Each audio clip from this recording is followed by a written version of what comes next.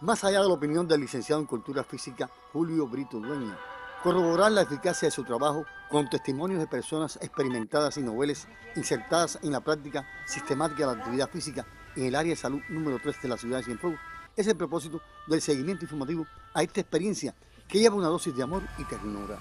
Y aunque se celebre el día 14 de febrero, el Día del Amor y la Amistad, también para aquellos que le ponen una dosis de amor todos los días en lo que hacen, lleva su reconocimiento. Me mandaron para Santa Clara y me hicieron la coronografía. Allá me detectaron que tenía que operarme del corazón a corazón abierto, porque tengo las tres arterias principales del corazón obstruidas a un 70%. Yo dije que no me operaba, no es que tuviera miedo, pero no me quería operar y no me quiero operar.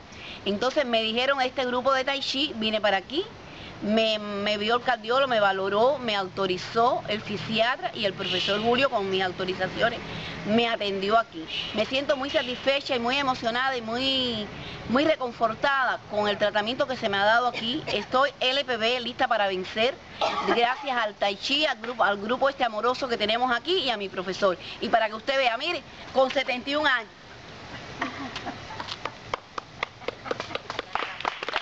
Si usted es de los que espera por un analgésico u otro medicamento que le alivie el dolor. Por cierto, bastante caro que está cuando se encuentra. Súmese a su área de salud, que de seguro hay muchas experiencias, como la de Julio, en la ciudad de Cienfuegos, que alivian el dolor, solo con poner el cuerpo en movimiento. Y si lo hace el Día de los Enamorados, mejor.